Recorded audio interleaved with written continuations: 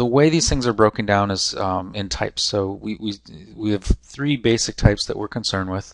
Now, if you do some searching on the internet, you'll find probably six different types of slowly changing dimensions, but really there's three of them that are most common.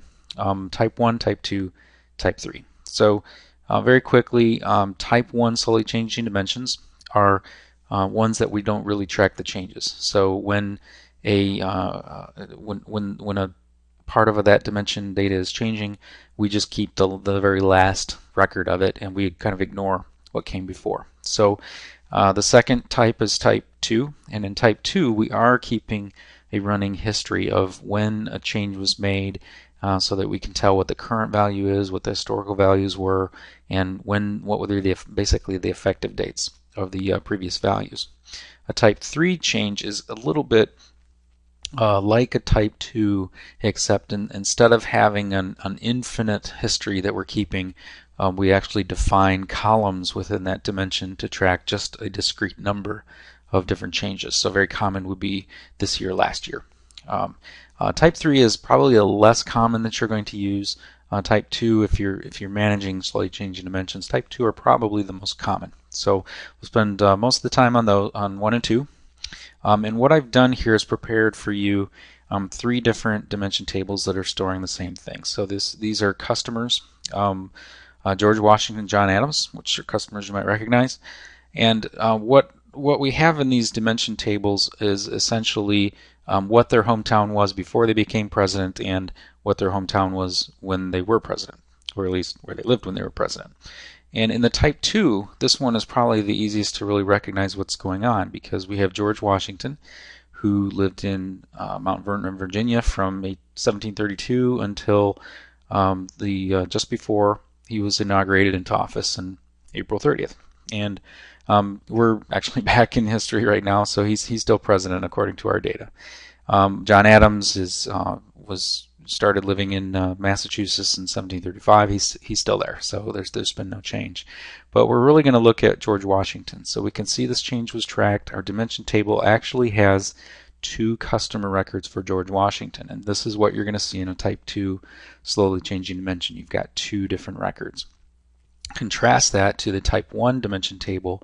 We only have one record for George and one record for John and we can see that the city is Washington. We have no record that he ever lived in Virginia. This is a type 1 dimension.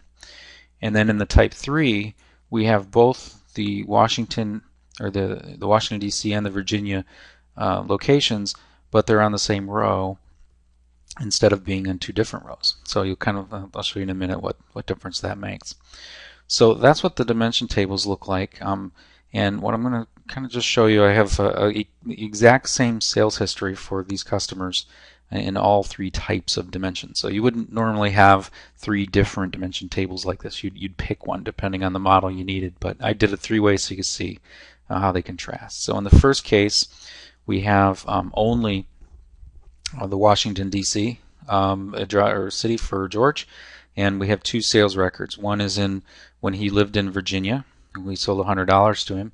And when he was in Washington, D.C., we sold $100 to him. And you'll see in a minute what effect this has that we don't know that he used to live in Virginia. In the Type 2 scenario, um, it looks just like this. You see the sales is exactly the same, and you can see that, that we have the history of where he used to live. And then number 3 um, is like the Type 1, except there are extra fields in the end that tell us what it was last year. Well, the sales history is the same every everywhere everywhere down the road.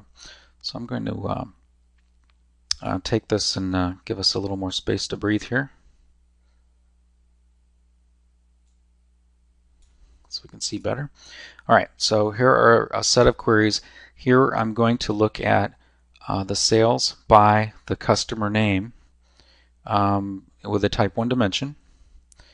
And actually I'll do both these at the same time type 1 and type 2 and you notice these these queries are exactly the same. So the the dimension the type 2 dimension had no effect on showing us the sales in 1789 for um, the, this customer George Washington. There was because there was no change in uh, his name it had no effect on the result. But what you'll see is when he moved from city to city there's a big difference in the type 1 and type 2 and in the type 1 all of the sales uh, even when he lived in Mount Vernon, get lumped into Washington, D.C. So this could be misleading um, if it was important for us to know that uh, we had a certain number of sales for customers that lived in Mount Vernon when the sale was made, and a, and a different sales in Washington when the customer lived in Washington. With a type 1 dimension, we wouldn't be able to tell that. With type 2, we can. We can tell that um, that sale was in Mount Vernon and that sale was in Washington and they're, they're kept separate. And a really interesting thing when you're using type 2s is that um, you will actually get um, an interesting effect. So here is querying the same exact fact table, fact sales 2, fact sales 2, and in the first query Washington, the name of the person is $200 in sales, but at the, because of the way the type 2 works, those sales can be split down by city when they need to be. So it's a very flexible kind of a, uh, a storage. And then finally, just taking a look at the type 3. And the type 3 is uh, is, is storing data on columns. So we can see the last year. So this is with a type 3 dimension if we wanted to see what were the sales in Washington this year, 1789, uh, $200.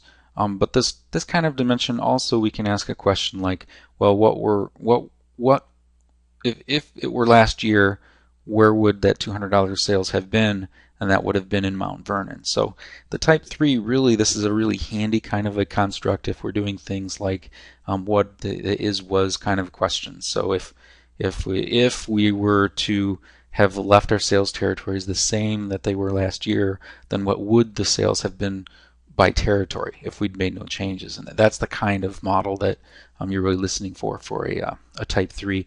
Type 2 doesn't solve that quite so well because Type 2 is really looking at what it is over time, or you know what what it has been over time, whereas the Type 3 gives you a little bit more of that scenario-driven kind of a thing. The downside to, to Type 3 though is that every time you, you develop a new scenario or you know something you want to look at, you're adding columns to your tables. So there's there's some upside, there's some downside.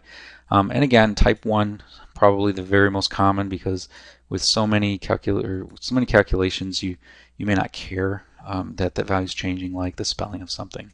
Type 2 is probably the, the, the most common thing you're going to use if you're tracking changes.